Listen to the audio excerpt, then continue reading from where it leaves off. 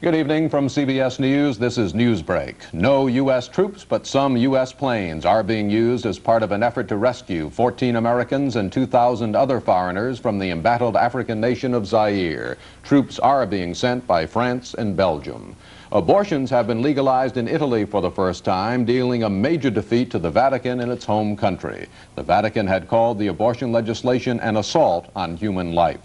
The verdict was guilty, and today a Soviet court sentenced human rights activist Yuri Orlov to seven years in prison, followed by five years in exile. The White House says it's not getting Jimmy Carter's story across to the public, so it's added to the staff the man who did just that during the 76 campaign, Atlanta ad man Jerry Rafshoon. Excuse me, but how'd you sleep last night? Have trouble? We all do sometimes. Sominex helps make you drowsy so you can fall asleep.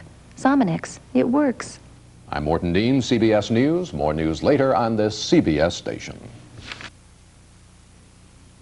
Friday, Wonder Woman shatters a hitman's disguise. Then, incredible suspense as a massive earthquake threatens a nuclear explosion. And the Incredible Hulk faces the toughest test of his life. Friday, starting at 8, 7 Central and Mountain Time. Tomorrow on CBS.